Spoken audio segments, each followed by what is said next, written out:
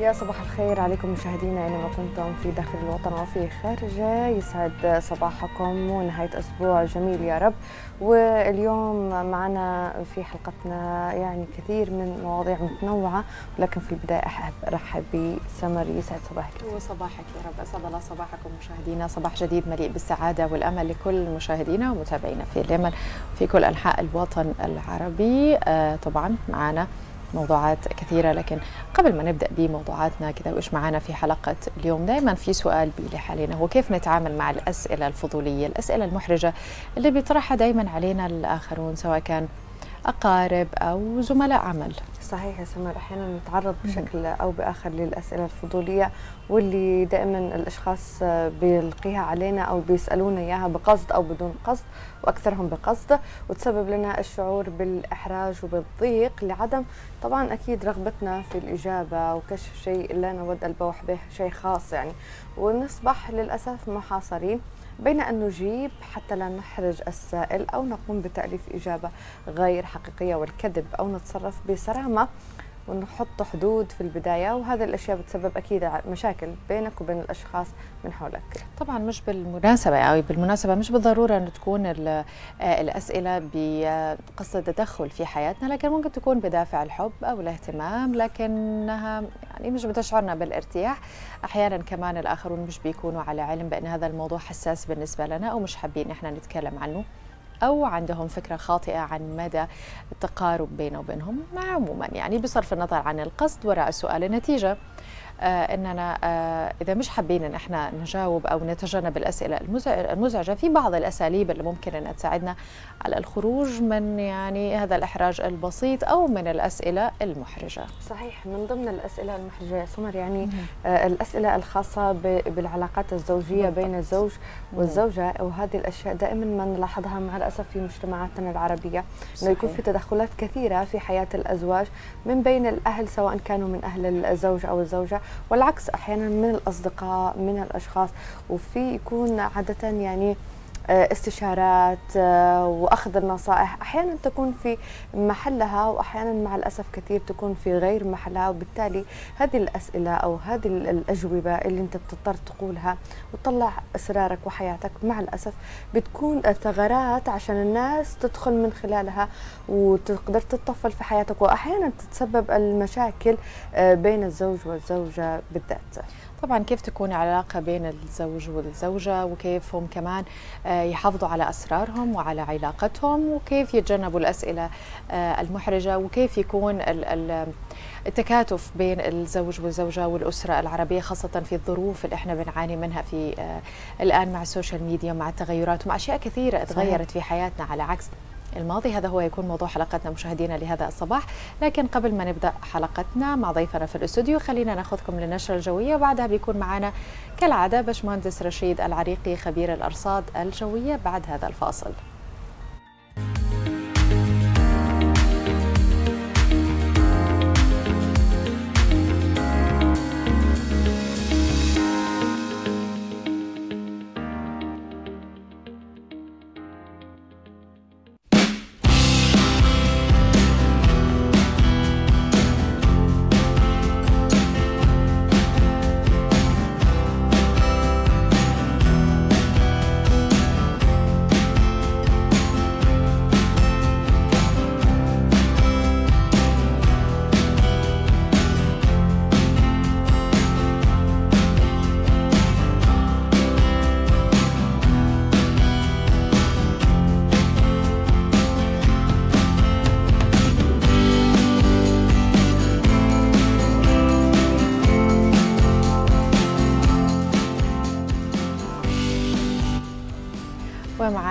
باشمهندس رشيد العريقي. أسعد الله صباحك يا باشمهندس رشيد. صباح الخير. أسعد الله صباحكم بالخيرات والمسرات في كمان حياتك والزميله شيرين واسره البرنامج. وأيضا جميع مشاهدينا الاكارم. وصباحك يا رب. في أمطار يا باشمهندس رشيد يعني سامعين إنه في أمطار غزيرة طبعا وأثرت كمان بسببها سيول في مناطق كثيرة من بلادنا الحبيبة خلال اليومين صح. الماضيين يعني كلمنا كذا أكثر عن إيش المحافظات اللي كان لها كمان النصيب الأوفر من الأمطار والسيول. نعم واكتسابات سادة بلادنا طقس غائم وممطر على مناطق واسعة من 18 محافظة وتدفقت سيول في الشعاب والوديان وذلك في تسع محافظات كانت الأغلب في الجراحي وبيت الفقيه وباجل وشرق المنصورية في الحديدة وحبان ونصاب والروضة وميفعات الجبوة وعتمة وعنس في زمان. وشعيب وحبر والحشا ودحاف وقول السبولة في طالع وشميتين وماوية في سعد والعروس في لعب ومدينة عمران. وشرار في ابين ومزهر في ريمة. دعا الله سبحانه وتعالى أمطار خير وسقيا بركة. آمين. وبالرغم من غزاله الأمطار الرعديه لكن ولله الحمد لم تسجل اي حالة وفاة أو خسائر. ذلك خلال يومين الماضيين. ولكن لوحظ بعض المواطنين يتواجدون في بطون الأودية أثناء جريان السيول فيها. وستتاثر بلادنا بموجه سقيه عالية الرطوبة وستؤدي إلى تقطيع أوسع للسحب والأمطار بدلا بدءا من يومنا هذا الخميس. فلا بد من اخذ الحيطة والحذر والاستفادة من كميات المياه العاطلة ونحث مستخدمي الطاقة الشمسية على ضرورة تشكيل استهلاكها نظرا لحجب السحب باشعه الشمس. نعم يعني وإيش أهم التحذيرات الصادرة من المركز الوطني للأرصاد الجوية هذا آه، الصباح؟ صباح يومنا هذا لا يزال المركز الوطني للإرصاد الجوي يحذر للاخوان المواطنين من التواجد في بطون الأودية وممرات السيول وضرورة الاحتماء من العواصف الرعدية وسائقي المركبات من التجلي في مدى الرؤية الأفقية بسبب هطول الامطار والسحاب المقابلة والكثيفه ومرتاديا بحث الصيادين وربابله السهول من اضطراب البحر وارتفاع الموج حول الخط الفقرة وشرق خليج عدن والسواحل الشرقية والجنوبية والتي قد تصل إلى خمسة أمتار. نسأل الله السلامة لجميع مواطنينا ودمتم بخير. آمين يا رب شكرا, شكرا لك.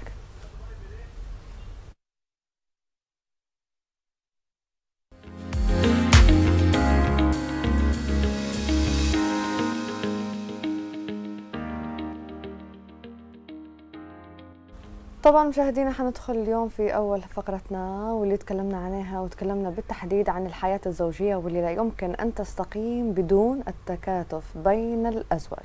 هذا ما يخلق بيئة جيدة ينشأ فيها الأطفال بشكل جيد ومتزن ومحترم، لديها أفكار جيدة وأخلاقيات أكيد بيكون انعكاسها على المجتمع والكل. طبعا عشان الحياة وظروفها بتتطلب المزيد من التعاون والتكاتف والمساعدة بين الزوجين. هي أشياء يعني مش هنبالغ لو قلنا إنها مفاتيح النجاح لأي بيت سعيد. كيف يكون في تكاتف كيف يكون في تفاهم كمان خاصة مع ال social media المقارنات اللي أصبحت موجودة الآن في كل بيوتنا العربية. هذا هو موضوع حلقتنا اللي إن شاء الله تستفيدوا منه مشاهدينا في كل بيوتنا خاصة المقبلين على الزواج عشان يبدأوا حياتهم بتفاهم. هيكون معنا ضيفنا في الاستوديو فضيلة الشيخ عماد درويش من كبار علماء الأزهر. أسعد الله صباحك يا فضيلة الشيخ. صباح الخير. يا مرحبا. صباحك يا رب. يا مرحبا. شيخ عماد إذا تكلمنا في البداية إحنا تطرقنا لموضوع التكاتف التكاتف بين الأزواج. عادة نعم. ما يكون هذه ثقافة أو مثلا معروف أنه آه الزوج والزوجة لازم يتكاتفوا ويتعاونوا لكن معنى التكاتف بين الأزواج من الناحية الدينية نعم. مش بس يعني من ناحية ثقافة أو عرف. لا إحنا نجي نعرف معناه دينيا. إيش نعم. يعني تكاتف بين نعم. الأزواج؟ آه الحمد لله رب العالمين وصلاة وسلاما على سيدنا رسول الله وعلى آله وصحبه ومن والاه واهتدى بهداه أما بعد. يعني بداية بشكر حضراتكم وقناتكم الكريمة على اختيار مثل هذه الموضوعات اللي بتفيد المجتمع العربي والأسرة العربية. نحن في حاجة إلى هذا الخطاب الإعلامي يعني المستنير. إلى أن نصنع أسرة عربية قائمة على الدين قائمة على آه، ما يصلح هذا المجتمع لأن الأسرة هي لبنة بالضبط. من لبنات المجتمع. إذا آه، صلحت الأسرة صلح المجتمع. ولذلك في بحثنا عن تكوين أسرة عربية صالحة نحن نتكلم عن مجتمع عربي صالح. لأن ما من أسرة إلا وهي لبنة من لبنات هذا المجتمع. ولذلك إذا ذهبنا إلى الكلام بقى عن الأسرة العربية أو الأسرة المسلمة في الإطار في إطار هذا الدين. زي ما ذكرت حضرتك آه، أول عوامل تكوين هذه الأسرة بين الرجل وبين المرأة هو التكاتف. لأننا آه، الأسرة أو المكونة أولا أول ما تبدأ تبدأ بين آه، زوج وزوجة. رجل وامرأة. لن نستطيع بناء أسرة متكاملة إلا إذا كان هناك نوع من التعاون ونوع من من التكاتف بين الرجل وبين المرأة. ولذلك ربنا سبحانه وتعالى لما كلمنا عن الأسرة لما كلمنا عن الزوج والزوجة ماذا قال؟ في آية شهيرة يعني نقرأها جميعا في مناسباتنا يعني المفرحة. ونحن نعقد القرآن ونحن يعني في زفاف الأعراس. ومن آياته أن خلق لكم من أنفسكم أزواجا لتسكنوا إليها. خلق لكم من أنفسكم. خلق كلا الجنسين من يعني من إطار من إطار واحد النفس الإنسانية. لماذا؟ ليحدث هذا التوافق بين الزوج وبين الزوجة. بل يجعل هناك هذا ال ال الإحساس بأنه يحتاج إلى الآخر يحتاج إلى الاطمئنان وإلى الاستقرار وإلى الراحة فيذهب إلى هذا الطرف الآخر. وإن اجتمع بان اجتمع بيحدث هذا السكن والمودة والرحمة بين الاثنين. ولذلك هذا التكاتف اللي حضرتك ذكرتيه هو بين قوسين كده لما نقعد نعرفه هو ال ال اجتماع الاثنين الاثنان معا على مصلحة هذه الأسرة. ممكن أن نضع برضو في معناه هو المودة والرحمة والسكن الذي ذكره لنا ربنا سبحانه وتعالى في كتابه لأنه يعني مفتاح السعادة هو هذا التكاتف. هي هذه المودة هي هذه الرحمة. بين الزوج وبين الزوجة. البعض قد يخيل له يعني أن الموضوع تكاتف فلوس بس أو ماديا, ماديا. البعض الآخر لا نفسيا فقط غير مادي. ما هو لا ربنا ربنا يبارك في حضرتك أنت أخذتنا الملمح جميل جدا. ربنا سبحانه وتعالى لما عاتب الزوجة حتى في حال فشل العلاقة الزوجية وعاتب على الأزواج أنه هو ممكن يأخذ المهر أو الصداق من الزوجة قال وكيف تأخذونه؟ وقد أفضى بعضكم إلى بعض. وأخذنا منكم ميثاقا غليظا. بعض الناس زي ما حضرتك ذكرت كده بيروح ل وقد أفضى بعضكم بعضكم إلى بعض إلى العلاقة الحميمة بين الرجل وبين المرأة.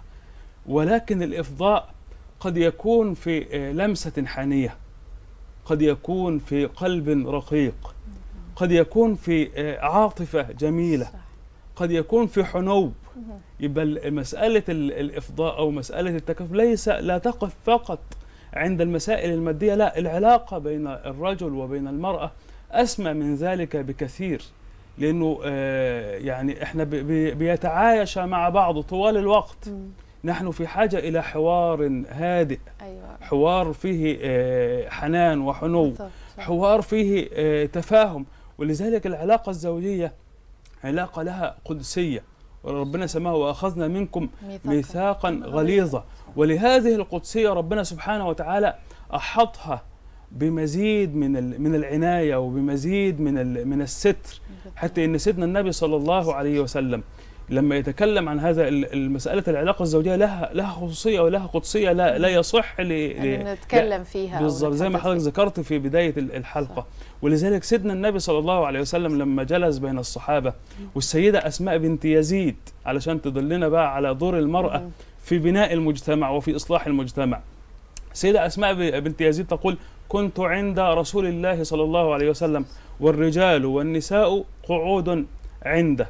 فقال رسول الله صلى الله عليه وسلم هل منكم الرجل يفضي إلى امرأته وتفضي إليه ثم يكشف سرها؟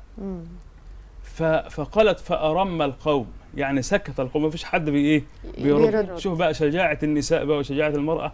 قالت إيه والله يا رسول الله هي اللي ردت من وسط الجمع كل مع إن في رجال ولكن هي اللي إيه اللي ردت قال قالت إيه والله يا رسول الله إنهن لا يقل وإنهم لا يفعلون. ده بيحصل. الستات بيقولوا كده والرجالة بيعملوا كده. فقال رسول الله صلى الله عليه وسلم سيدنا صلى الله عليه وسلم قال لا تفعلوا فإن ذلك مثل شيطان غشي شيطانة في الطريق والناس ينظرون.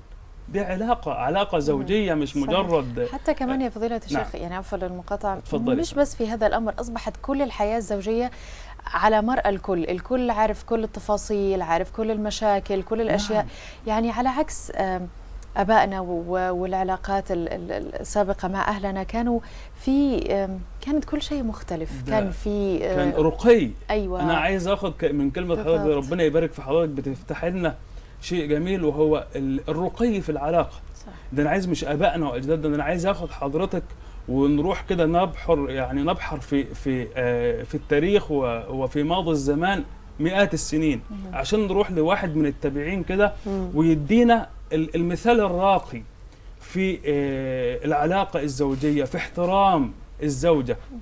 لما بيكون بينه وبين زوجته مشاكل فبيأتي إليه أصحابه فيقولون له ماذا بينك وبين زوجك؟ في إيه. فيقول لهم شوفوا بقى اللي حضرتك بتقوليه ده. قال العاقل لا يهتك ستر امرأته. الإنسان العاقل أيوه. لا يهتك ستر امرأته لا يفشي أسرار بيته لا يفشي أسرار زوجته. فلما احتدمت المشاكل وحصل الطلاق فطلقها. فقالوا له ها أنت قد, قد طلقتها. فماذا كان بينك وبينها؟ قال ما لي ولامرأة غيري. يا الله. هي لم تصبح الآن زوجتي لأتكلم عنها. يبقى هي في حال الزواج قال العاقل لا يهتك ستر امرأته لما طلقها قالوا لما طلقتها؟ قال خلاص. هي- للأسف الآن أبسط المشاكل على الملأ الكل بيعرف المشاكل والكل بيعرف إيش التفاصيل وش اللي حاصل يعني. و- والمشكلة بيتدخلوا حضرتك بقى اللي إحنا أيوة. ال ال ال ده بين قوسين بقى هنسميه بقى ال social media. أيوه. إن كلنا بقينا دلوقتي ال- الحياة الخاصة وال- والأسرار. بقينا ننشرها على على الملأ وده يعني باب من أبواب الفساد. وأحيانا بيكون من باب إنه أنا بنصحكم عشان تتجنبوا الأخطاء تتجنبوا إنكم تختاروا خطأ لشريك الحياة لكن هم مش عارفين إنه آه، بالعكس هذه مش نصائح يعني. لا دي ده ده لما أفشي أسرار البيت وده باب من أبواب الفساد. بالضبط. من أبواب فساد الأسرة المصرية صحيح. ومن أبواب الفساد اللي دخلت على المجتمعات العربية. العربية أيوة. التي لم نكن نعهد هذه الأمور قبل ذلك طب فضيلة الشيخ الآن يعني الموضوع ده أحس كده أنه مع تغير الزمن وزي ما قلنا يعني تأثير ال- ال- social media على حياة الناس وعقولنا كمان يعني الآن صار آه، الشباب المقبلين أو حتى مؤخرا نشوف كثير من العلاقات بدأت تفشل يعني آه، موضوع الأمان موضوع التكاتف هذا شيء مش موجود يعني نعم تكون آه، الزوجة متخوفة من زوجها وحريصة وما تشعرش معه بالأمان والعكس كمان الزوج آه، آه، متحرص وخائف وبيخبي ومش عارفة إيش فهل هذا شيء له علاقة بالتنشئة الدينية بالتربية من البداية ولا شيء ممكن يكتسب وأنا أعرفه يعني كل ما آه، آه، أدخل في العلاقة هذه هي حضرتك هي مجموعة من العوامل مش. هنقدر نختزل آه، ال ال كل هذه الأمور في في أمر واحد إنما هي مجموعة علشان ننشئ أسرة آه، عربية أسرة مسلمة صالحة لابد وأن تقوم أساسا.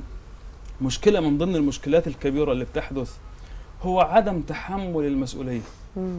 إن إحنا مقبلين أساسا على الزواج وإحنا مش مدركين لماهية الزواج. يعني ال- ال- البنت في في مجتمعنا العربي الآن أصبحت بتبحث عن الزواج لكي تنطلق من ضيق الأسرة اللي بتعيش صحيح. فيه علشان آه، تنطلق بقى. يعني مفهومها عن الزواج إن هي آه، الفسح والسفر. والسفر وكذا وكذا. وليست مدركة إن هناك مسؤولية كبيرة عليها.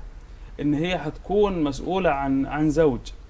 وبعد ذلك ستكون مسؤولة عن عن أولاد. ال- ال- الشاب كذلك الرجل كذلك يدخل وكأنه يدخل في في حالة من يعني آه، يريد أن يت يعني الحياة تتغير فقط. إنما لا يعني لم يكن مدركا إنه هو داخل على مرحلة جديدة وإنها مسؤولية وأمانة أمام الله سبحانه وتعالى.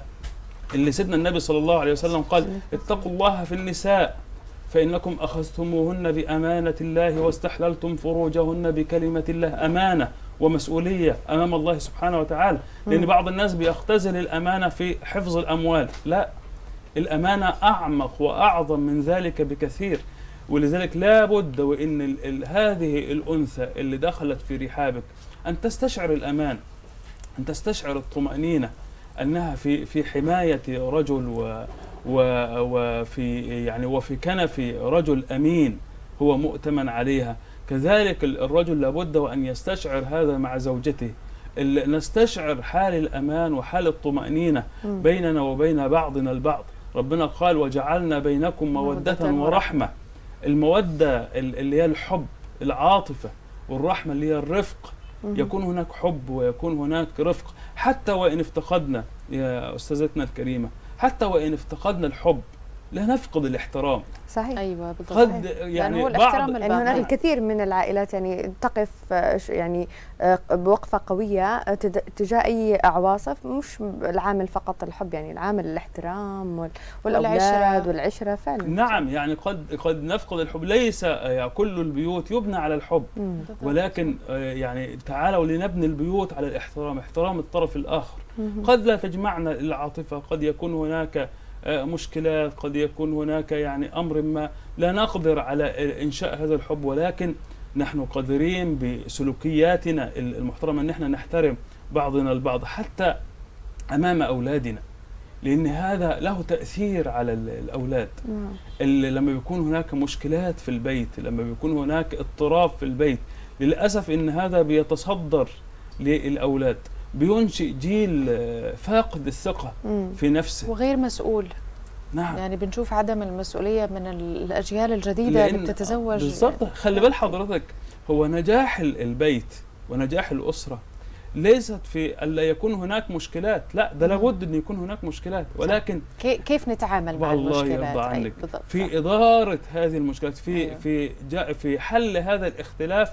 في ألا نصل إلى خلاف. صحيح الاختلافات واردة لأن حضرتك صاحبة عقل. ال- الرجل ال- صاحب عقل له رأي مختلف. من الأكيد أننا آه، لن نتفق تماما ولذلك هو التوافق ليس التوافق نسبي. ليس هناك تطابق في الأفكار وفي الآراء. صحيح ولكن ربما نذهب إلى نقطة. تجمعنا سويا. نقطة تجمعنا من أجلنا ومن أجل ال- الأطفال. الأسرة أيضا. بحيث إن إحنا لا نصدر المشكلات لا نخرج هذا الولد و- وهذه البنت في إطار من من العواصف وفي إطار من آه، يعني من ال- المشاكل و- المشاكل صح. لأن ده بيخلق آه، طفل مضطرب نفسيا غير سوي طفل. غير متزن طيب كمان يا فضيلة الشيخ لو رجعنا لموضوع التكاتف في البعض آه، يعني مفهوم التكاتف أصبح أنه المرأة تشارك في مصروف المنزل مثلا في حالة أنها كانت تعمل نعم وفي أحيانا للأسف ذكور أو أزواج بيكون الأمر إجباري. نعم أنه أنت تعملي فلازم تصرفي. تشاركي تصرفي في البيت آه، يعني ويكون آه، متساويين هل هذا الشيء أصلا يعني في الدين موجود؟ في, في الدين النفقة هي واجبة على الزوج الرجال قوامون على النساء بما فضل الله بعضهم على بعض وبما أنفقوا من أموالهم يعني الزوجة إذا ما رضتش تشارك في ال في ال في البيت مش ما. لهاش لا, ذنب ما- لا يعني لا تأسم في هذا ولكن بنأتي بقى ده المعاملة الحقوق. يعني زي ما بيقولوا بس إحنا عايزين نروح لدرجة تانية مش. عايزين مثلا زي ما بيقولوا حقي بالمصري كده حق وحقك لو رحنا للم- للمساحة دي قد يكون هناك اضطراب في ال- في في الأسرة ولكن تعالوا نذهب للتعامل بالفضل بقى بالذات وإحنا في زمن صعب يعني في زمن برضو فيه أيوة كثير الظروف تغيرت صح الظروف تغيرت. صحيح يأتي بقى ال- الموضوع اللي هو يكون الموضوع اختياري ب- فضيلة بالضبط الشيخ. كده أنت حضرتك لا آه. تاخذ على يكون الموضوع اختياري أنا عايز أروح إلى آه، حتة آه، اللي هي استقرار البيوت مقدم على مقاطع الحقوق. يعني مش عايزين نقف عند الحقوق بحذافيرها. آه خلاص عرفنا. إحنا عرفنا خلاص إن الحق هو إن الرجل هو اللي إيه بي- بينفق على بيته وعلى أهل بيته. مم. ولكن لما بيكون هناك مثلا ظروف صعبة أو كذا خلاص تعالى بقى ل- لنتكاتف. ولكن ده برضه مش مش حق. لا ده تعامل بالإيه؟ بالفضل. تعامل بال- بالمودة وبالمحبة. إن أنا أساعد زوجي في إنشاء آه هذه الأسرة ولكن إن لم تفعل لا, لا, لا, لا يجب عليها حتى إن بيصل في بعض الأمور إن يحق للزوجة لو عندها مال كثير. وبتخرج من زكاة مالها يجوز لها إنها تخرج من زكاة مالها على منزلها لزوجها آه تعطي ذلك لأنها. ليست ملزمة بهذا الايه. بهذا الإنفاق فإن أخرجت من زكاة مالها لأهلها أو لزوجها مم. فيجوز لها ذلك أي بس هي زي ما قلت آه، فضيلة الشيخ يعني أحيانا لازم يكون الكلمة طيبه والكلام ب ب باللين آه، بأسلوب صح. في البعض مع الأسف يعني آه، يخل يعني يخليها مجبرة ويكون لأ ب- بتعنت وطلب كذا يعني فهذا الشيء اللي يخلي المرأة تقول لا هذا هذا اعتداء وظلم آه. يعني لابد علشان افتراء. علشان آه افتراء يعني علشان نضع الأمور في نصابها امرأة بتعمل امرأة ب يعني عندها مال. لا يجوز إن أنا بأي حال من الأحوال إن أنا ألزمها بهذا الأمر. لأن أنا أنا كرجل أنا ملزم ربنا سبحانه وتعالى جعل من من تمام ال- القوامة أو من أساس القوامة قوامة الرجل على المرأة ان هو اللي ينفق على البيت. اللي هو اللي, اللي يكون قائم على هذا البيت وعلى هذه ال- المرأة. فأنا لا ألزمها بشيء من ذلك لأن هذا الإلزام وهذا اللي أحيانا بنراه في بعض البيوت. إنه خلاص بيجعلوا إنه هو شيء واجب عليها ولا أيوة. بد وان لم تفعل مم. فبيكون هناك عقاب في تصرف آه أيوة. إنما إنما الأمر بيكون بقى بال- بالمودة صح. وبالمحبة مهم. وباللطف طيب كمان يا فضيلة الشيخ يعني هو دائما سؤال يعني بي بيتكرر دائما عند كل آه، واحدة إنه اختلفت ال- ال- ال- الموازين اختلفت ال- الأفكار اختلفت كل شيء اختلف عن السابق. نعم. يعني حتى الرجال زمان كانوا مختلفين كان في آه، الأسلوب مختلف طريقة التفكير مختلفة. حتى في ال- في الزواج كان آه، آه، مبدأ المودة والرحمة كان هو الأساس في أي علاقة لكن الآن أصبحوا رجال وبنات والله من الاثنين نعم. ما فيش رحمة ولا مودة آه، الزواج بالنسبة لهم أحيانا بيكون مهرب أو مشروع إنه نجرب ونشوف والله ضبطت ضبطت ما ضبطتش خلص ننفصل أو مشروع مادي أو أيوة، شهرة مشروع. مادي. هي أو نفس نفس المبدأ اللي حضراتكم تكلمتوا عنه هو أنا عايز أحطه بين قوسين كده. اللي هو إن الماديه طغت أيوة. على الروحانيات مهم. انت حضرتك بتقول يعني الأمر اختلف آه، دلوقتي عن قديما ليه أيوه آه، اختلف عن القديم لأن إحنا كان الأول مسألة الروحانيات ومسألة. العاطفة كانت غالبة. إنما الآن أصبح كل المادة طغت على كل شيء دائما أذهاننا بت... أول ما تذهب تذهب إلى ال... إلى المادة كأن كل شيء. إحنا بنعرضه لمبدأ المكسب والخسارة أيوه حتى علاقاتنا الإنسانية ولذلك هو ده ما أصاب المجتمعات العربية صح. للأسف ان كل شيء بقى آه، محطوط في المكسب أنا هاخد هكسب من ده إيه أو أيوة. لا العلاق- العلاقات الإنسانية العلاقة بين الرجل وبين زوجته لا تقوم على هذا الأساس لأنها لو قامت على هذا الأساس فهي علاقة يعني آه، خاسرة. صحيح. طب والأهالي يا فضيلة و- الشيخ وبين- اللي بتفكر بنفس المبدأ نعم. إنه كيف هيأمن مستقبل بنتي كيف هيعيش بنتي كيف هي إيش إيش الأشياء اللي هيوفر لها؟ مم. آه وكمان التفكير أصبح مادي بحت. آه للأسف يا أستاذتنا أنا عايز أخد لحضرتك لحتة إن إحنا آه دائما وابدا بنفكر حتى في أولادنا بنفكر إن إحنا نترك لهم ولا نترك فيهم. بالضبط. صح. نترك لهم كل التفكير. إحنا عايزين نسيب لهم إيه؟ بس إحنا ما فكرناش إحنا هنسيب فيهم إيه؟ لو فكرنا بس إن إحنا هنترك لهم هم هيضيعوا اللي إحنا تركناه ده. صحيح. بال بال بالفكر الفاسد. بالضبط. إنما لو إحنا تركنا فيهم المبادئ القيم ال- الأخلاق وتركنا لهم شيء هيحافظوا على نفسهم وهيكونوا المال ده وهيصنعوا المادة اللي هم اللي الناس بتبحث عنها. إنما لما آه، نترك لهم بس دون أن نترك فيهم حتى ال- اللي إحنا تركناه الماديات دي هتضيع آه. لأنه بالأخلاق إذا ضاعت الأخلاق والقيم هيضيع ال- الماده بس فضيلة الشيخ يعني أرد عليها ممكن مثلا تفضل. ك- كأولياء أمور البعض يعني زمان زمان أيام الرسول عليه الصلاة والسلام والسلام. والتابعين نعم يعني آه، كانوا الناس كذا متدينين كانوا الناس كذا ما ينخافش منهم فبالتالي يزوجوهم بأقل ال- بأقل التكاليف وهم مطمنين يمكن الآن الوضع اختلف فأي أم تقول ربما أأمن لبنتي آه، إذا كان هذا الشخص مش كويس فبالتالي يكون عندها بيت أقل شيء يكون كذا ما تتبهدلش ما تتهانش فيما بعد لأنه الآن صار موضوع أن أنت تقيم الشخص كأخلاق آه، يعني أو تعرف آه، كيف آه، آه، مضمونه على فكرة صعب على فكرة اللي حضرتك بتقوليه ده من الدين يعني مسألة مم. التكافؤ أيوه هو الدين كمان يعني هو الدين وفر لها حقوقها يعني. التكافؤ ده يعني قيمة التكافؤ إن الاثنين يكونوا متكافئين مش ماديا فقط آه. فكريا علميا آه، ثقافيا. حلو. كل ده لازم لأن لو ما كانش في تكافؤ بين الاثنين هتحدث الأزمة. يعني لو هو لو هي مثلا عايشة في مكان عيشة فيها راحة وكذا ومستقرة وذهبت إلى إنسان آه، زي ما حضرتك بتقولي كده ما عندوش المقدرة على إنه يفتح البيت حتى لو كان في حب مع صعوبات الحياة.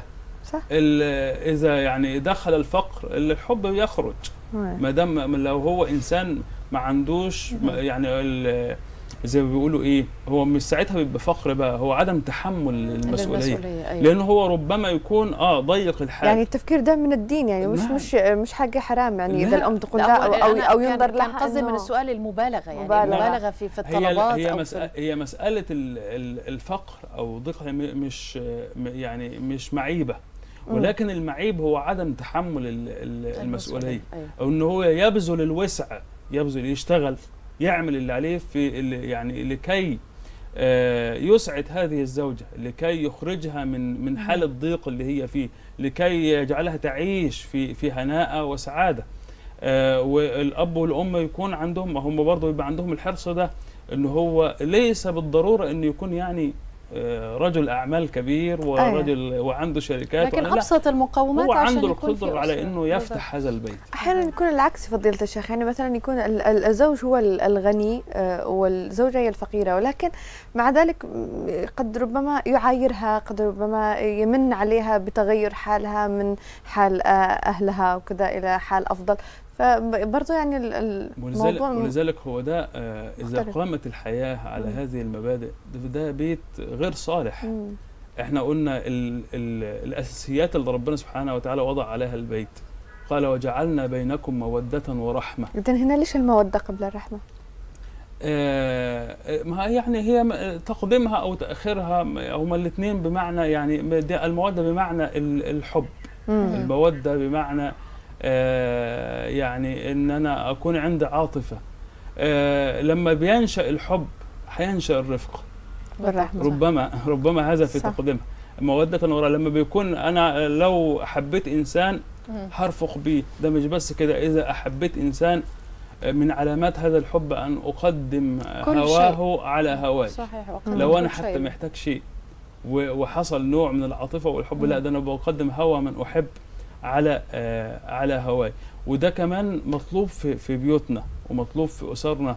مطلوب كمان إن ما يكونش فيه أنانية. يعني إذا كنا بنتكلم على الحب وإن أنا أقدم هواه لا. آه ليست العبرة في إن أنا آه أقدم احتياجاتي. في بعض الناس بتقدم احتياجاتها هي فقط ولا يعبأ باحتياجات الآخر. وبعض الناس من شدة العاطفة ومن شدة الحب بيقدم احتياجات الآخر وفقط وينسى نفسه. بس ده مع مرور الوقت ربما يحدث نوع من ال... كأنه بي... بي... الإنسان ده بيستهلك. آه بيدي بيعطي بيعطي بدون مقابل, مقابل. ففي لحظة أيوة. من اللحظات بتحصل له صدمة خلاص ما كفاية إنما ال- العبرة بقى ال- النجاح في إيه؟ إن إحنا الاتنين الطرفين يعني آه يقدما احتياجات بعضهما آه لبعض ده يفهم احتياجات الآخر وال- والزوج يفهم أيوة. احتياجات المرأة بحيث إن إحنا نصل إحنا الاثنين في تلبية احتياجاتنا وليست إيه أيوة،. احتياج طرف على حساب الإيه بالضبط على حساب صحيح. الآخر طبعا نتمنى فضيلة الشيخ إنه النصائح أو الطريقة البسيطة اللي شرحت فيها توصل للمشاهدين لأنه الفكرة والهدف من الزواج مش فقط إنه زوج وزوجة لكن آه. تكوين أسرة عشان الأسرة هت- هتنجب أطفال هيواجهوا المجتمع فعشان يكون في أسرة سوية وأطفال كمان أسوياء آه، فإن شاء الله أتمنى يكونوا استفادوا آه، منك فضيلة الشيخ آه، عماد آه، درويش من آه، علماء الأزهر الشريف. شكرا لك وجزاك الله كل خير. ربنا يبارك في حضراتكم وأسعدتمونا برؤيتكم إحنا أكثر شكرا لك. مشاهدينا خلينا ناخذكم لفاصل قصير ونرجع نكمل حلقتنا. خليكم معنا. أهلا بكم مشاهدينا ما زلنا معاكم في حلقتنا اليوم. وتشير الأبحاث الجديدة إلى أن الصحة القلبية الوعائية أصبحت بشكل متزايد عامل خطر رئيسي للإصابة بالخرف. يأتي الخرف في أشكال مختلفة ولعل الشكل الأكثر شيوعا هو مرض الزهايمر يتميز بضعف القدرة على التذكر والتفكير واتخاذ القرار. إيش علاقة أمراض القلب وصحة القلب الوعائية بالزهايمر وبالخرف؟ هذا اللي هنتكلم عنه أو هنعرفه من دكتور محمد العسمي استشاري أمراض القلب والأوعية الدموية. أسعد الله صباحك يا دكتور محمد. صباح الخير أهلا وسهلا يا مرحبا. أهلا فيك. في البداية دكتور إيش هي الصحة القلبية الوعائيه عرفنا كذا أكثر عنها. طبعا بداية بالربط مع الشيء اللي ذكرتيه حضرتك طبعا هو عبارة عن مجموعة حالات معروفة. تبدأ من فقدان الذاكرة تغيرات القدرة على الإدراك على التركيز والإدراك والضياع وتنتهي بتغيرات نفسية مثل القلق والاكتئاب والبارانويا ويصير شك بالعالم وكذا. فهي مجموعة من الحالات. طبعا لها عدة أسباب. السبب القلبي الوعي واحد من الأسباب المهمة جدا. الألزهايمر هو أكثر شيء. بعدين بيجي السبب القلبي الوعي. القلب طلع له علاقة بالخلف وبألزهايمر. آه، طبعا القلب سواء كان الشرايين لما يكون في تضيق بالشرايين القلب أسباب متعددة ممكن نحكي عنها. تضيق بالشرايين القلب بيؤدي لنقص ترويه قلبيه وأيضا نقص ترويه دماغية. لما يكون في مثلا اضطراب بالصمامات خسارات صغيرة بتطلع في شغلة جديدة هلا لقيناها إنه الاذينه لما تكون ضعيفة هذا ما كنا ندركه لقينا الاذينه ضعيفة بتشكل خثرات صغيرة بتصير تطلع للدماغ ما بنلحظها وبتسبب بالتالي آه خرف. ممكن تسبب خرف. ووجدت الدراسات حوالي 40% ممكن يكون السبب من الاذينه فصحة القلب بشكل عام إذا كان القلب سليم نحن سليمين بضل موضوع السن وكذا الأسباب الأخرى للخرف وللالزهايمر بس لما يكون في مرض قلبي مهم جدا انه ننتبه له ونعالجه ونعرف نعرف السبب طيب دكتور. مشان بالخرف طيب يا دكتور محمد يعني هل ارتفاع آه، ضغط الدم المستمر بيزيد من خطر الإصابة بالخرف؟ تمام. أول طبعا ارتفاع ضغط الدم هو أحد الأشياء اللي سواء كان بصير في نزوف صغيرة أو تضيق بالشرايين السباتية يعني السبب وعائي تضيق الشرايين السباتية اللي بتغذي الرأس. مثلا وجود الكوليسترول الشحوم السكري التدخين عامل مهم جدا بانه يسرع إصابة القلب وبالتالي يسرع الخرف أو يؤدي لوجود يصير بصير عندنا استعداد إنه يصير في خرف. التدخين آه، قلة الرياضة والحركة البدنية مثلا الأطعمة الدسمة كل هي الأشياء اللي تشكل خطر على القلب. أيوة. أيضا بتشكل خطر إنه على الصحة النفسية والخرف تؤدي لظهور الخرف لأنه بتعمل كومبرمايز أو بتعمل يعني ضعف في الأمور القلبية. وبتؤدي بالتالي كمان للخرف. عم نحكي إنه في سبب مهم ارتباط اسمه الخرف الوعي مثل ما تفضلتي هو مرتبط بالأوعية الدموية اللي جاية من القلب صحة الأوعية الدموية والقلب. دائما مهمة وهي عاملة كل شيء بيأثر على صحة القلب. ممكن يخلي الشخص إنه عنده استعداد أكثر يصير عنده خرف. والخرف صحيح مت... يعني عادة مترافق بالعمر لأنه بالعمر أكيد بيصير في تصلب شرايين ونقص التروية الدموية أيوة. الجسم من الدماغ لكن غير العمر كمان ممكن يصير ناس أصغر سنا بالميدل ايج يعني 40 50 كذا الناس يصير في عندهم خرف بسبب موضوع القلب. الشيء الثاني المهم جدا كمان لصحة القلب هو توقف التنفس أثناء النوم سليب ابنيه اللي بتصير عند الناس اللي صحتهم زيادة أو صحتهم زيادة بتوقف نفسهم أثناء النوم. كنا ظاهره نتغاضى عنها ونمشي فيها ولكن ظاهره مهمه لأنه كمان هي بتؤدي لاصابات قلبية وخرف وارتفاع ضغط الشريان أيوة. فأكيد الضغط من بين العوامل الأخرى المؤثرة. اللي بتؤدي ل... بتؤدي للقلب ولا الأوعية وبصير عندي خرف وعي أيوة. طيب يا دكتور محمد الضغط أكيد أيوه طيب يا دكتور محمد أمراض القلب هل هي وراثية وكيف نحافظ على مرونة آه، الأوعية الدموية؟ طبعا مثل ما ذكرنا في عوامل خطورة كلياتنا بصير في عندنا تصلب شرايين شيخي يعني مع السن الشرايين تتضيق شوي بس بشكل بسيط بحيث إنه أصلا الشخص جهده مو عالي ولكن ممكن تصير بأعمار أقل بوجود عوامل بنسميها عوامل الخطورة. مثل ما حكينا بيجي على رأس التدخين ارتفاع ضغط الشرياني ارتفاع كوليسترول الدم السكري غير المعالجين. لما نعالج بنخفف كثير من إصابات القلب قلة الحركة والبدانة وخاصة البدانة البطنية توتر و stress اللي معيشين إحنا فيه دائما غصبا عنا عايشين كلياتنا تحت stress أيوة كل واحد بمجالنا. فأكيد هدول كلهم بيشكلوا كوكتيل لأنه يصير عندي مرض بالشرايين القلب. فهدول بس لحسن الحظ إنه هدول الأشياء بتعرف المدخن بيقدر يوقف تدخينه نقدر نضبط السكري نقدر نشيك على الضغط بشكل دائم نشيك على ضغطنا نتمشى نلعب رياضة. لازم الرياضة تكون جزء أساسي من حياتنا. لو 10 دقائق لو يوم أو يوم لا يوم بالأسبوع يومين بالأسبوع وين ما كان. نمشي بال shopping center نمشي يعني مو شرط نلبس رياضة ونروح على النادي وين ما كان نلعب رياضة. بعدين شوي الاطلاق stress وخفف على حالنا. نحاول. وخاصه وخاصة بالأيام الجديدة إجانا stress الإلكتروني stress هذا ال digital. أيوه هو أصعب كمان. صحيح. صحيح صحيح. صعب جدا وخطير. حقيقة هلا بتشوفي لسه هو لسه جديد لكن الدراسات رح تجي عليه إنه عامل أكثر من العوامل البقية كلها لأنه كلياتنا صرنا مربوطين بالموبايل مربوطين بالأجهزة الإلكترونية صغار والكبار من الناس. وهي بتؤدي لل stress بتفتحي بيجيك خبر صادم تكوني رايقه ومبسوطه وكذا بس بيجيك خبر بتقري شغله واحد حكى كذا. فدائما stress موجود من هالأجهزة وحتى غرفة النوم وحتى نحن نايمين والآخر بنقوم بالليل هيك دقيقتين نشرب نطلع على الموبايل شو جاي شو جاي خبر سيء. هذا قبل النوم وبالتالي النوم ما يكونش كويس. دكتور لازم حقيقة لازم ننتبه إنه نريح امورنا شوي نريح صحيح. الواحد شوي. ياخذ إجازة بين الوقت والآخر أو يعني نص نهار نهار كل يومين كل أسبوع كل أسبوعين يعني طيب يا دكتور إلى جانب هذه الأشياء والعوامل اللي ممكن إحنا نعملها عشان تساعدنا في آه، آه، يعني نبطل التوتر وأيضا نحافظ على صحة قلبنا بالرياضة والأشياء والغذاء الصحي. في عقار كمان جديد في بريطانيا من الشوكولاتة يعني اسمه بلاد فلو إيش حقيقة إنه فعلا هذه المادة بتبقي الشخص بعيد من الإصابة بأمراض القلب والجلطات الدماغية والخرف؟ هل فعلا ممكن يحصل؟ هي الشوكولاتة معروفة دائما ب طبعا. الشوكولاتة معروف إنه فيها مادة اسمها الكابتشين هي بتوسع الشرايين بتوسع الشرايين الدماغيه بتحسن مرور الدم عبر الهدوء وبالتالي بتخفف من التأثيرات الوعائية ضمن الدماغ اللي عم نحكي عنها. الكابتشين فمعروف إنه أكل الشوكولاتة بتحسن المزاج بتخلي الواحد لأنه تحسن جريان الدم ضمن ضمن الدماغ ف فالدواء أو في أدوية جديدة وحتى الزهايمر صار في أدوية وكذا كلها بتركز على تنشيط تحسين طبعا تحسين التروية الدموية للدماغ تحسين تحسين طريقة التفكير طبعا بالإضافة للدواء غير الدواء كمان في شيء ثاني هو الرياضة الذهنية.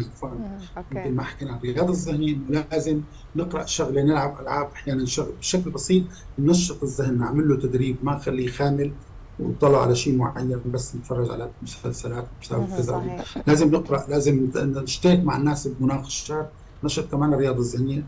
بالإضافة للادويه، الأدوية ممكن تحسن حتى الزهايمر صار في له دواء واعد يعني للمستقبل. طيب في هو مثل طيب في أكلات طبعا. معينة يا دكتور محمد مثلا ممكن تساعدنا على الحفاظ على آه، القلب و... و... وكمان تساعد على إنها تقلل من نسبة إصابة كبار السن بالخرف؟ صحيح يعني الاغذيه تكون يعني كثر من الخضار والفواكه نقلل من الدسم لأنه الكوليسترول بالنهاية بيؤدي إلى تضيق الشرايين القلبية وبعدين بيأثر كمان على الخرف في الدماغ نتبع نظام نظام متوازن. ناكل دسم ولكن ثاني يوم ناكل خضار. مو كل يوم ما ناكل دسم ما ناكل دسم أو ما ناكل حلويات. لا ناكل. لكن إذا اليوم أنا اكلت أكل دسمة وآكل وأشبع وما اشعر بالذنب بس ثاني يوم خليها خضار وفواكه. وكذا يعني أعمل بالانس دايت أو حمية متوازنة. وخلي الحساب شهري مو يومي. الشيء الثاني إنه مثلا الفيتامينات مهمة كثير الفيتامينات خاصة مثلا موضوع الفيتامين د الفيتامين E والفيتامينات B. هي لها علاقة كمان بالخرف حتى النقص تبع له علاقة بالخرف بشكل مباشر أو بشكل عن طريق الأوعية. فكمان لازم ننتبه للموضوع الفيتامين نعاير فيتامينات أو نشوف شو اسمه الصوديوم والبوتاسيوم لازم نتأكد منه خاصة نحن بجو حار هلأ بالصيف ممكن نتعرض نفقد الأملاح. فلازم دائما كمان نعوض الأملاح. في الموضوع الغذائي موضوع آه، كمان مهم جدا. نخفف من اللحوم الحمراء واللحوم المصنعة. اللحوم المصنعه فيها يعني دسم كثير وكمان بتؤدي لامراض القلب. الكحول أحد العوامل زيادة أو فرط فرط تناول الكحول بيؤدي لك أيضا للخرف بيؤدي للخرف بشكل مبكر وعند الناس الشباب. نعم. الشيء أيضا النوم لازم ننام ساعات كافية الناس. نسهر وننبسط وكذا بعدين ما نلاقي حالنا نمنا الصبح غصبا عنا بنروح على شغلنا النوم ساعات كافية بيريح الدماغ بيعطيه وقت يعمل ريكفري الشيء الثاني نعمل فحوصات. مثلا مثل نقص الغده الدرقية. السكر ما بيكون منتبه له الواحد عنده سكر نقص الغده الدرقية. دول الشغلات كمان بيساعدوا على إنه يصير في خرف. واذا صلحناهم بتصلح الخرف بتصلح التشويش تبع موضوع الزني لأنه هي حالات شبيهة بالخرف. دكتور محمد العاصمي استشاري أمراض القلب والاوعيه الدموية شكرا جزيلا لك يا دكتور إنك كنت معنا عبر الزوم من دبي. شكرا. إلى جولة من جولات حول العالم نروح مع بعض أنا وأنت يا سمر وإلى جولة. آه نبدأها بالفضاء الخارجي حيث أعلنت وكالة الفضاء الأوروبية مرور كويكب بالقرب من كوكب الأرض مشيرة إلى أن حجمه أكبر من برج إيفل في فرنسا. وذكرت صحيفة اندبندنت أنه هذا الكويكب اللي بحجم برج آه إيفل هيطلق آه هيمر بالقرب من الأرض عام 2029 وأكدت وكالة الفضاء الأوروبية أهمية تمويل الأعمال التحضيرية لمهمة فحص هذا الكويكب عبر إرسال مركبة فضائية إلى الكويكب. وستسهم هذه المهمة في جمع معلومات حول الكويكب تشمل معلومات عن حجمه وشكله وكتلته بالإضافة إلى طريقة دورانه في الفضاء ويسعى العلماء إلى تسليط الضوء على التركيبة والبنية الداخلية للكويكب ومعرفة مداره. واستكشاف كيف بيتغير بعد ما يمر على مسافة 32 ألف كيلومتر من الأرض.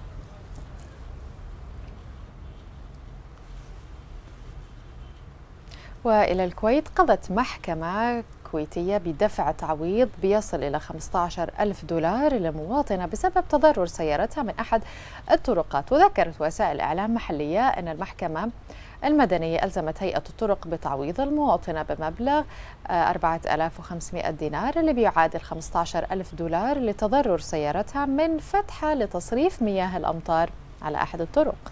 وتبين أن المواطنة فوجئت بفتح تصريف مياه الأمطار دون غطاء ما تسبب في تلف سيارتها فلجأت المواطنة إلى القضاء قضاء مختصة بهيئة الطرق وذكرت يعني أنه لازم تتعوض وحكمت لها المحكمة بالتعويض المذكور. المحامي الكويتي وليد مسعود قال أنه ترافع عن المواطنة لأنه اعتبر أنه أحقية المتضررين فرفع دعوى تعويض بالأضرار اللي لحقت بمركبتهم من عدم صيانة الطرق. يعني أعتقد أن لو في في بلادنا مثلا بنرفع قضايا طويلة إلى قصة أخرى حيث بدأت مستشفيات فرنسية تجهز نفسها بطابعات ثلاثية الأبعاد. تسمح بتخصيص نكهات العلاجات وشكلها وجرعتها لتسهيل تناول الأدوية خصوصا لدى الأطفال. في تقنية تفتح آفاقا علاجية قد تشمل مستقبلا لفئات متعددة من المرضى. وركبت اثنتان من هذه الآلات أو تم تركيبها يعني في صيدليات للسرطان قرب باريس من خلال شبكها بجهاز الكمبيوتر. يمكن لهذه الطابعات تصنيع أدوية تمت برمجة جرعتها وشكلها مسبقا وبتركب مثل خرطوشة حبر وبتطلق عجينة صغيرة مستديرة على لوحة معدنية تم تسخينها مسبقا. ويجمع الصيدلي في معهد جوستاف روسي ماكسيم أندرو الأدوية ويقول إنها بتشبه إلى حد ما العلكة وهي مكملة غذائية تباع على شكل حلوى صمغية يشير إلى أن المعجون الذي تصنعه الآلة يكون قابل للمضغ وتستخدم نكهة النعناع لإخفاء طعم المكون النشط. طبعا هذا المعجون بيحتوي على مضاد حيوي بيوصف للأطفال المصابين بمرض السرطان بيسمى ساركوما الأنسجة الرخوة وبيطال الأنسجة الدهنية والأنسجة العضلية أيضا والأوعية الدموية والأوعية الليمفاوية والليمفاوية والأعصاب. وقد نشأت فكرة تخصيص هذه الأدوية للأطفال من حاجة معينة وفق الصيدلي اللي بيوضح أن أطباء الأطفال في المستشفى أبلغونا بأن هذا المضاد الحيوي الموصوف على شكل سائل لمنع الآثار غير المرغوب فيها للعلاج الكيميائي كان مع الأسف بيلقى رفض كبير بسبب طعمه السيء لدى الأطفال.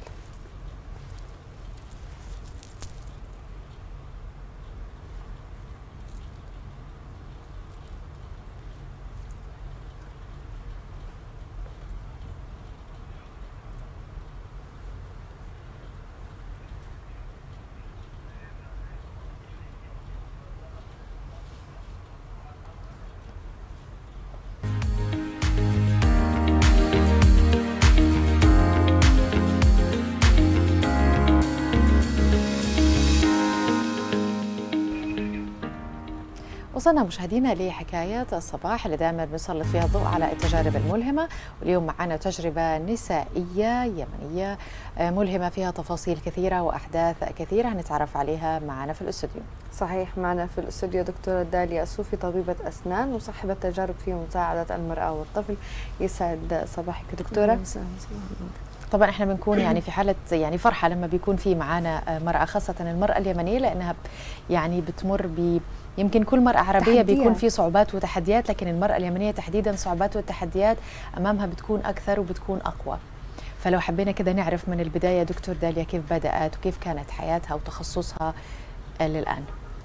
آه، أولا صباح الخير عليكم وأشكركم جدا على الاستضافة الجميلة هذه. آه ما فيش أنا طبيبة أسنان كنت مقيمة في في اليمن وبسبب أوضاع الحرب آه نزلنا للقاهرة. آه على أمل نحن يعني فقط فترة معينة ونرجع مرة صحيح. ثانية ولكن بسبب إن الفترة طولت والأوضاع يعني ما زالت مش مستقرة فبدأنا في الاستقرار هنا. آه أكملت يعني ما زلت أكمل دراستي الماجستير في الدراسات العليا الآن وأشتغل كطبيبة أسنان. آه من 2015 في في القاهرة من يعني من لحظة وصولي. وانضميت في شهر اثنين إلى آه، لجنة رئاسة لجنة المرأة والطفل آه، اللي هي تبع الجامعة. أيوه كلمينا يعني كيف آه، من دكتورة أسنان إلى العمل مع المرأة والطفل كذا كيف؟ بص يعني شوفي هو موضوع غريب بالنسبة لي كان كمان. يعني مم. أنا كان كل دايرتي هي عبارة عن الطب والدراسة أيوة. والمرضى يعني. أيوه ما عنديش كانت تجارب مجتمعية وطلابية. مشاركات حتى في أيام الجامعة. مم. فالنقلة هذه كانت بالنسبة لي في البداية مخيفة شوية. آه لكن يعني حسيت ان لا يعني في عندي حاجات في عندي لا في عندي حاجات أقدر أعملها. يعني غير المجال الطبي. طيب آه، شفتي إنه مثلا كان في البداية قبل ما تدخلي في هذا المنصب أو هذا المجال شفتي في البداية مثلا إيش هتقدري تقدمي؟ إيش نوعية الخدمات اللي بتكون مطلوبة آه للمرأة والطفل؟ يعني حاولت في الأول آه يعني كأني دراسة أدرس موضوع إنه إيش إيش المرأة هنا محتاجة. أيوه. آه في الأول كده جلست كده جلست أدرس شوية وأبحث في الموضوع هذا كمرأة يمنية متواجدة في مصر. في الغربة. آه أيوه. فبدأت واصلت مع أسر. بدأت أسمع شكاوى بدأت أسمع إيش الآراء إيش الحاجات اللي هم يعانوا منها أكثر حاجة موجودة هنا في مصر. وبهذا بدأت شغلي أو بدأ يعني رؤيتي للمهام اللي تقوم فيها اللجنة على هذا الأساس. وإن شاء الله في حاجات كثيرة كمان إحنا أنا يعني بجهز لها. طيب إيش هي الحاجات اللي شفتيها آه، مشتركة فيها كل آه، النساء اليمنيات هنا في الغربة؟ يعني سواء في مصر آه، يعني أنت الآن في مصر وأكيد دراستك على وجود النساء هنا في في مصر. إيش كانت أكثر شيء بتحتاجها المرأة اليمنية في الغربة؟ تحتاج المساندة تحتاج المساعدة تحتاج الدعم إن كان معنوي أو إن كان اجتماعي بشكل كبير جدا. لأن أغلبية النساء اللي موجودات هنا يعني إحنا خلينا بس يعني ما نعممش الموضوع في البداية. هو كان وجودهم هنا في ناس يعني قادرة تعول نفسها عادي والموضوع بالنسبة لهم ما فيهاش مشكلة إنها تتعايش في بلد آخر يعني. لكن وجدنا إن في في أسر معيلة اللي هي جت مثلا من آه، فقدت زوج ابن أب فأصبحت هي المعيلة الأول أو جاية المرض أو جاية اللجوء. فهذه بدأ يعني هذه هي الناس هذه هي الشريحة الكبيرة اللي هي متواجدة وهذه اللي إحنا نحاول إن إحنا نساعدها على قدر الإمكان. يعني نشوف إيش المشاريع اللي هم ممكن يعملوها. في أسر كثيرة جدا ما كانوش يعني كانوا في اليمن ما ما عندهمش شغل ما عندهمش كانوا ربات بيوت. أيه. فاضطروا لما أجوا هنا والوضع اختلف. اشتغلوا. اشتغلوا. اشتغلوا وخرجوا مواهب وعندهم حاجات ما شاء الله يعني ما يعني هم نفسهم فعلا. فلا ما شاء الله عليهم. في في في عندنا يعني مجموعة الواحد يفخر بأمانة أيوة انهم موجودين هنا كجاليه يمنية في مصر. طيب دكتور داليا كده لما دخلت في هذا المجال ويعتبر عمل تطوعي بشكل كبير. 100% آه أيوه.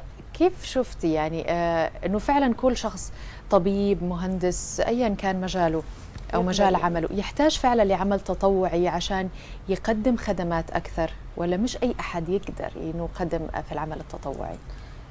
شوفي يعني أنا لو بتكلم عن نفسي أنا مش عارفة بصراحة بس أنا لو بتكلم عن نفسي أنا ابدا ما كانش يجي في مخيلتي إن أنا أشترك في عمل تطوعي آه، مجتمعي.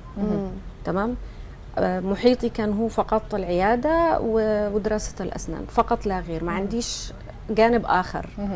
آه لكن لما شاركت أو بالأصح لما شفت إن في في أسر محتاجة دعم أنا لو بتكلم عن كلجنة معينة يعني أيوة. لا في آه، في أشخاص يمنيين هنا محتاجين الدعم هذا. فأنا لو عندي أقدر أساعد ليش ما أساعدش؟ وال- والحمد لله يعني بدأنا في حاجات كثيرة من هذه إيش. الأشياء اللي تقدموها أنتم يعني كجاليه وم- ومختصين يعني في في المرأة والطفل؟ إيش نوعية المساعدة التي تقدم ل- للمرأة والطفل في الغربة؟ تمام. آه مبدئيا إحنا عملنا آه كلجنه كلجنة مرأة وطفل عملنا حصر لل- للأسر المنتجة المتواجدة داخل القاهرة أو داخل مصر تمام؟ وبعد كده بدأنا نشوف فئات ال- الإنتاج بالنسبة للأسر هذه. لقينا إنه في تنوع كبير في الشريحة في أسر منتجة للعطور للبخور آه للمشغولات اليدوية للمأكولات سواء كانت آه، أكلات أو حلويات. و يعني مش ماشيش انسي حد بس يعني كانت شريحة كبيرة في للريزن في للديكوباج لل آه للشمع المعطر. يعني في أشياء في. آه لا حاجات جميلة أيوة جدا. صح. يعني في في مواهب طلعت. الحرب دي يعني طلعت بتقد- مواهب. بتقدموا دعم لهم عملنا عملنا؟ مبدئيا بازار. مم. هذا أول حاجة. اللجنة قامت به بعد الحصر عملنا بازار. البازار ضم تقريبا 55 أسرة. منتجة. آه كم كانت برضو في اختلافات في المنتجات. حاولنا إن إحنا ننوع ما بين المنتجات بحيث إن إحنا ما تتكررش يعني. أيوه وبشكل أكبر أيضا علشان ال- الحاضر أو الزائر يلاقي أكثر من حاجة يعني مش أيوه يستفيد مش كلها شيء معين. لا مش كل حاجة معينة. أيوة. والحمد لله ك... كنتيجة أولية لل... للمعرض أو للبازار اللي أقام آه، من. من اللجنة كان ال background حقه جميل جدا وال feedback حلو، عنه حلو. كان جميل جدا يعني حلو، هذا أهم. حاجة طيب آه، دكتور داليا أو داليا ال- ال- الامرأة اليمنية آه.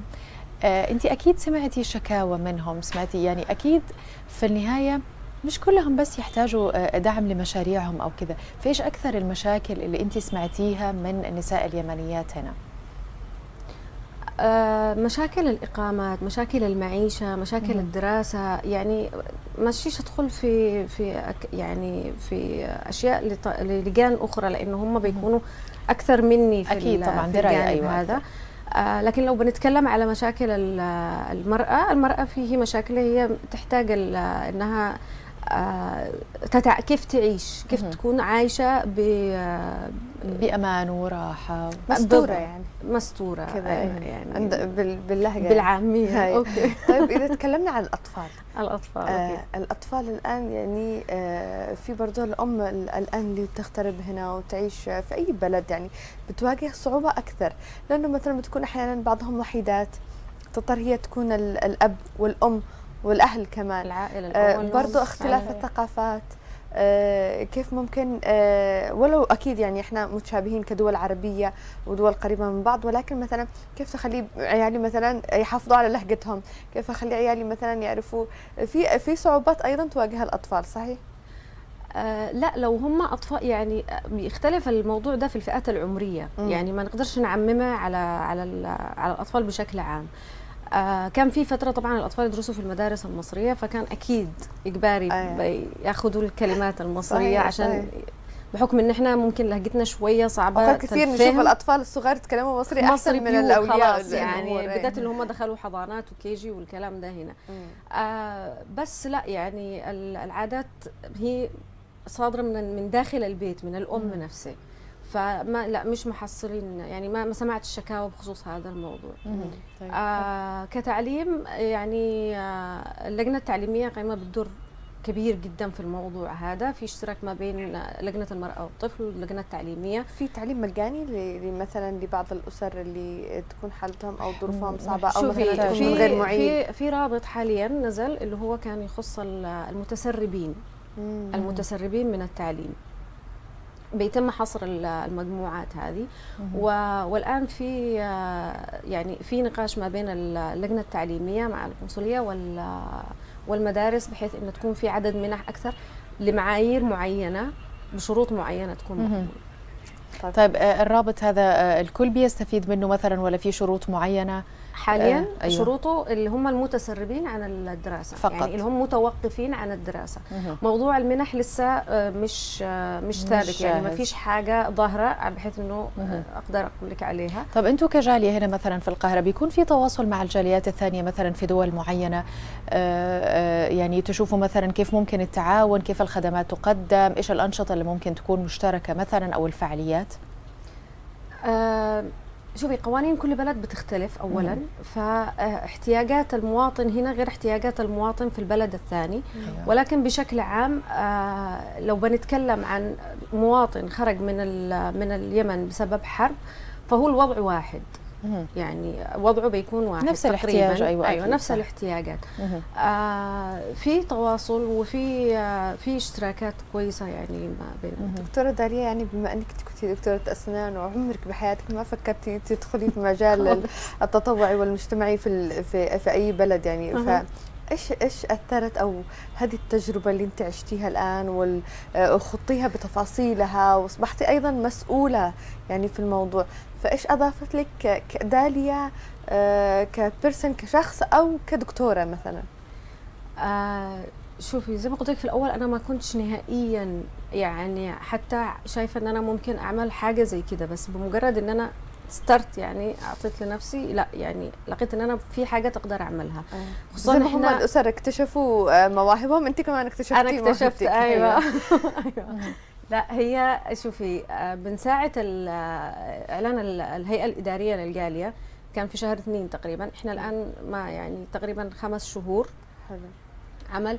في أشياء كثيرة عملناها. لا اكتشفت في نفسي حاجات أنا ما كنتش عارفة إنها موجودة عندي إن أنا أقدر أساعد إن أنا أقدر في أفكار ممكن تجيلي غير موضوع الطب وبعيد عن موضوع الطب. الحشوات وتغيير الأسنان. والتقويم. وشكاوى شكاوى الأسنان. بالي. طيب يعني أكيد بيأثر صح؟ العمل التطوعي طبعاً- بيغير طبعا وبيأثر جميل جدا جميل على قد ما في معاناة مش معاناة كعمل العمل في أي مكان في في معاناة مشقة. أكيد أيوه. بس على آه، إن أنت تجلسي وتسمعي و- وتتعايشي مع الناس مع وتت- حالاتهم وظروفهم. يعني وت- وفي النهاية إنك تقدري حتى ولو بشيء بسيط جدا تلاقي منهم رضا ابتسامة شكر دعوة هذه جميل جدا صح. يعني. ما يعني في نهاية البازار بينسيكي التعب وبينسيكي كل الضغوطات اللي يعني مريتي أيوه صح. كان ضغط شغل وكان حضور والأيام اللي كنا ننزله معاهم وكان ترتيب. ولا وهم كانوا كمان متعاونات معايا. بشكل كبير جدا آه في النهاية لما تجي يعني واحدة كده تقول لك شكرا آه عملتي لنا رتبتينا ظهرتينا يعني خليتي لنا ساعدتينا بأي طريقة آه صح؟ أيوه خصوصا إنه ما كانتش ال- المعارض ال- ال- الأولية كانت بتحصل بنفس الشكل. يعني بدأت أعمل بآلية جديدة عملت شروط معينة إن إحنا نعمل المعرض. في النهاية شيء يليق بهم ويليق بنا إحنا كلجنة. طيب في المعارض أو في البازارات آه، كيف كمان بتنسقوا مثلا مع رجال الأعمال أو مع جهات ثانية بحيث إنه البازارات تكون بشكل دائم؟ يعني إحنا كان دائما ضيوفنا لما بنستضيفهم كانت مشكلتهم دائما إن البازارات ال ال الوقت بين كل بازار والثاني آه، مدة طويلة ف فبيقل طبعا آه، مبيعاتهم بيقل نشاطهم فبالتالي بيحتاجوا إنه كل مرة يبدأوا من جديد في أي بازار. طيب خليني أتكلم على نقطة البازار بالضبط. أيوة. آه أنا مش رؤيتي إن ال- الأسر هذه تظهر في بازارات فقط. تمام؟ أنا حابة إنه يكون في أشياء أخرى. اعتمادهم ما يكونش على البازار على أسبوع أو ثلاث أيام يقام فيها البازار. آه لا يعني أنا في آه في الآن خطة أنا اعمله و يعني بدأنا نعمله بس يعني ما أكملناهاش إلى حد الآن اللي هي أنا باشتي طبعا هم الأسر هذه بعد البازار آه أخذوا كورس آه دورة تدريبية مجانية في التسويق الإلكتروني في كثير من الأسر. كان اعتمادهم الكلي على جروبات الواتساب. أيوه صح. تمام؟ آه يعني ما كانوش أيوة، ظاهرين غير في الواتساب وكان صحيح. وجودهم على آه في البازار. فأنا اعتمادي ما كانش إن أنا خليكي انت معتمدة على إنك آه، يعني ت- تحصلي دعم في في ثلاث أيام أو في أسبوع طب باقي السنة. وأكيد أكيد موضوع إنه أنت تكرري بآزار هو ما بتقدريش تكرريه بشكل متواصل أو بشكل دوري. لا لازم يكون في حاجة برضو في الوقت اللي هم ما فيش بازار فيه يقدروا يتعايشوا يشتغلوا، ويقدروا أيوه بالضبط. يتحملوا يعني في مسؤولية إنهم يحسوا إن إحنا لا برضو إحنا لازم مستمرين أيوه. بالضبط. فبدأت أعمل اللي هي نحدد طلبنا طبعا من كثير إنه في كثير برضو أيضا عندهم صفحات على ال social media. بحيث إن إحنا نعمل زي. زي صفحة أو زي رابط بفئات يعني فئات ال- البخور والعطر. فئات المشغولات اليدوية حلو. بصفحاتهم أيوه عشان كل واحد يسهل الوصول أيوه لهم. أنا كواحد أدخل على ال- الرابط أو أدخل على الصفحة أخذ الفئة اللي اشتريها أدخل على صفحاتهم أشوف منتجاتهم أتواصل direct معاهم أكيد هذا اللي أنا الآن أسعى له يعني. أكيد دكتورة حصلتي آه، برضو في بعض الأسر واعية إنه مثلا دور اللجنة آه، دور مساعدة معنوية أو مثلا دورات أو مثلا حضور فعاليات وكذا. البعض الآخر مع الأسف يفتكر الموضوع بطريقة خاطئة أو إنه مثلا إنه ال- ال- اللجنه ملزمه ان تعمل لي ان تسوي لي فعلا آه أيوه لي خدمات. هنا أيوة. لازم يكون في وعي إنه لا أنا أعطيك ال- الخطوات وبعدين أنت تشق طريقك يعني خلاص تعتمد أنا على. أطلعك للواجهة وأنت أيوة. تكمل المسيرة فعلا. مش العكس مش أنا اجلس هو هذا اللي أنا اللي أنا أسعى له إن. أنا يعني ما أعتمد ما خليكيش تعتمدي فقط على وجود بازار أو وجود دعم من تاجر أو من رجل أعمال أيوه يجي متو... لا أكيد يعني في ناس إزعاجات اتصالات وده ما حصل شو ده مساعدينا. والان كيف أنا ما بعت حقي. لا أنا احسها أنا عارفه يعني في- حقيقي كل الكلام اللي تقوليه وأكثر يعني حصل. ما حصل- حصل. حاجة ومش يعني كأن آه أيوه وأنتم كجالية المفروض إن آه لا يعني تعملوا لنا بازارات آه تقريبا آه تقريبا يعني, يعني كل شهرين أو كل ثلاثة شهور ضروري تقدموا لنا دعم. آه في أسر إحنا ما ما فيش دخل بالنسبة لنا. فبصي حاجات كثيرة جدا. فيعني لكن أنا زي ما قلت لك ما كانش اعتمادي الكلي فقط على وجود البازارات. أنا أشتي حتى في عدم وجود البازار أنت تشتغلي مم. طوري من نفسك.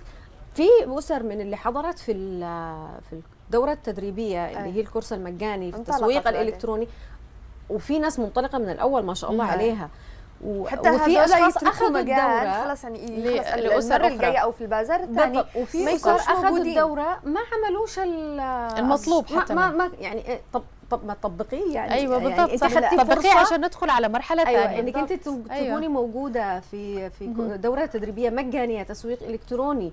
آه طب يعني أستغ... دي فرصة بالنسبة لك ما أعتقدش إن ممكن تتواجد بشكل كبير. فاستغليها اعملي هي حركة صح. لازم تدور فأيوة. علشان الباقي الأسر اللي ما. تدربوش. يدخلوا ويتدربوا وهي يعني لازم يعني. في برضو بنطلب دراسة جدوى من من أسر وبنعرضها على رجال الاعمال أو تجار عشان بحيث إن يساعدوهم. إحنا أيوه لأن زي ما قلت لك في في أش يعني في مجموعة بأمانة الواحد يفخر إن هذول المتواجدين وأسرة منتجة بمنتجات أحيانا بأشياء فظيعة. بسيطة والله فظيعة صح. فظيعة صح. يعني أيوة لا. اللي هو أنت تشوفيه يعني ممكن ما تتخيليش إنه من بس الحرب دي طلعت طلعت. أيوه حاجات طلعت المواهب فعلا صح إحنا. كنا بنمر في الحلقات كنا بنمر بنماذج آه، كثيرة بنشوف يعني آه، ما شاء الله عليهم في ابتكار وفي مهارات وفي إبداع ومن أشياء بسيطة كل واحدة فيهم تقول لك أنا بدأت بأشياء أيوه بدأت بأشياء بسيطة لكن صح. ما شاء الله حابين إنهم يطوروا وحتى طريقة التسويق كمان بالضبط. أصبحت في وعي كيف هذا اللي أنا أسوق أسعى له لنفسي في الصفحات اللي أنا أطلبها أيوة. دائما منهم يعني أعملوا. لكم صفحات على ال social media صح بحيث إن إحنا ننزلها بحيث إنه زي أي واحد ممكن يدخل معلش آه أنا كيمني متواجد في مصر بشتري من يعني أنا من رأيي إن أنا أشتري من حد يمني من من جانب من الدعم له مساندة صحيح وفي صح. نفس الوقت يعني في أشياء أنا أحتاجها منتجات ما ألاقيهاش مثلا في في, ال- في في- السوق في فممكن. ألاقيها عند هذه الأسر مثلا أيوة. مثل المعجنات الكعك حقنا أنواع ال- ال- في القمح والأشياء هذه أيوة، في ناس ففي ناس ما مدمنين عليه. عليها. ما يقدروش يبطلوها سواء. كانوا في اليمن أو خارج اليمن في صح. صح فبالتالي أيوة. هذه لا، وإحنا يعني في عندنا نوستالجيا كده شوية اللي إحنا يعني أيوه الحنين. للأشياء أيوه الحنين ما خاصة يعني مع الحرب نسافر نروح مطعم أيوة. يمني يعني ما ما نقدر شيء ما يعني جاية من اليمن ليش بس لا لازم. أيوه أكيد أساسي صح. كمان يعني أنا أتوقع كده. ب... يعني توقعاتي إنه مثلا هذه الأسر لو فعلا آه، صارت منتجة وصارت تعتمد على نفسها وتبيع بتحل مش بس آه، يعني آه، مشاكل من لجنة المرأة والطفل كمان مشاكل في في في الجالية بشكل عام مثلا اللي محتاج دعم دراسي بتكون الأسرة قادرة انها تدرس أولادها بالضبط. يعني في أشياء كثيرة. بت بتنحل وبتهدى أيوه أيوه لأن أغلب منكم يعني. الأغلب الآن أغلب الشكوات أر- يعني من زي ما قلت لك من ناحية المعيشة الإقامات أكثر شيء. دراسة الأولاد بخصوص ال- القرارات الجديدة اللي هي يعني آه، فلا في اسر ما تقدرش تدفع ال- الم- المصاريف الدراسية لأولادهم وخصوصا لو كان مثلا أكثر من واحد. أيوه.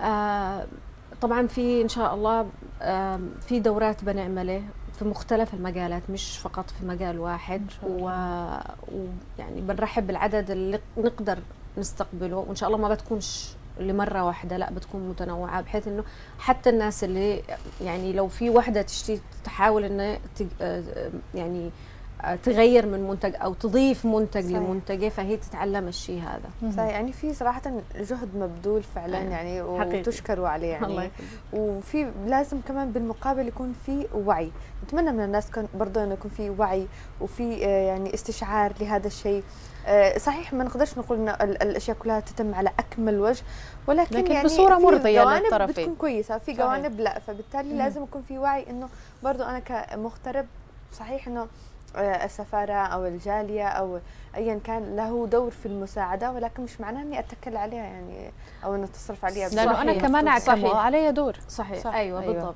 ويعني لا في زي ما قلت لك برضو في في أسر ما شاء الله عليها ما شاء الله. ممتازة يعني طموحة عندها طموح عندها مثابرة عندها تجديد مش. اللي أنا خلاص منتظرة دعم يجي لي أو منتظرة كده آه في أيضاً قصص نجاح والله يعني بعضهم من كبيرة. من ملهمات، البيت أيوة فجأة أخذوا شوية. دكان تحت البيت وبعدين فجأة أقول لك شوية على الله. كمان إنه يعني في ناس كانت مناصب وكانت ودرجات دراسية تعليمية عالية. آه أيوه مم. وكانت لهم أشغال في اليمن وبسبب الأوضاع يعني موجودين هنا بدأوا من الصفر فانتقل أيوه وتغير الفيلد بكامل تغيرت مسار حياتهم،. أيوه بس الحلو إنه يعني لما تسمعي قصة زي هذه إنه لا أنا ما وقفتش عند حاجة معينة لا أنا لازم أكمل أنا لازم أيوه ما آه، رميتش كل. شيء على الظروف أيوة. وعلى الحرب واستمريت. واللجنه أو كجالية إحنا آه عملنا 100% آه تطوعي مجتمعي. ما شاء الله.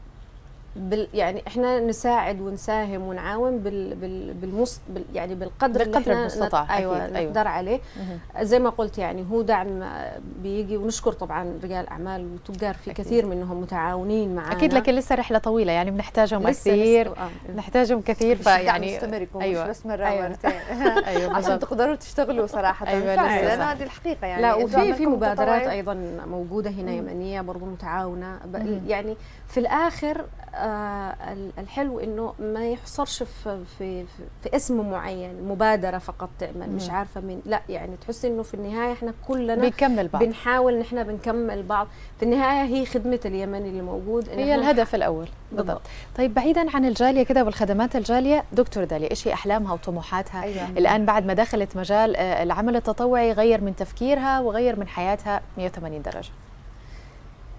يعني شوفي سؤال محتاج. لإجابة خذي وقتك، خذي وقتك. كبيرة بس اختصار يعني أيوة. لو أنا بتكلم عن احلامي وطموحاتي فيما يخص مجالي أنا كطبيب أسنان أيوة. آه يعني أنا مسيرتي التعليمية إن شاء الله أهم- يعني بستكملها يعني أنا. حاليا في في ال ال- ال- الخطوة الأخيرة للماجستير بإذن الله وبعد. كده إن شاء الله آخذ الدكتوراه مجالنا مش مش فقط آه، يعني خلاص دراسة وبس لا هو تطبيق. دراسة مستمر لا أيوة، صح. دراسة مستمرة صحيح لأنه علم شاء مسار الله. صح، كل يوم، حاجة صح. أيوة. أنا أدري صحيح أيوه ف... فهو دراسة مستمرة.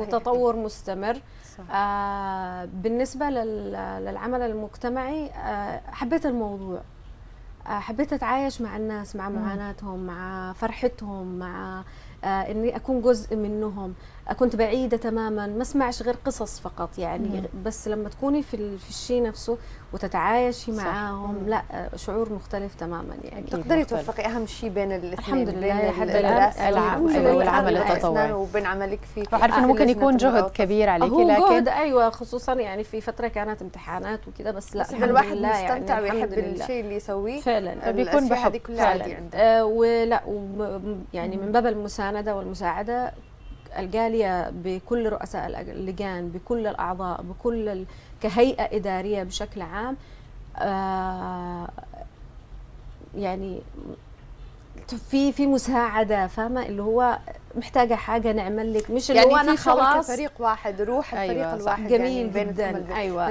الكواليس دي. حلوة أكيد ونتمنى لكل الفريق يا. ولكل الجالية التوفيق إن. شاء يا رب الله دائما تكون بصماتكم موجودة خاصة إحنا ندعم لجنات المرأة والطفل بالتحديد يعني أكيد طبعاً. نتمنى إنه المزيد من التوفيق والنجاح لكم يا الله رب شكرا لك شكراً. نورتينا دكتورة داليا صوفي طبيبة أسنان وصاحبة تجارب في مساعدة المرأة والطفل والعمل التطوعي شكرا لك دكتورة نتمنى لك التوفيق شكراً، الله الله. شكرا لك. مشاهدينا وصلنا لختام حلقتنا وختام الأسبوع نشوفكم بإذن الله الأسبوع القادم صحيح. دمتم في رعاية الله استمتعوا بالإجازة وانت كمان يا سمر وإلى الملتقى كونوا بخير في أمان الله.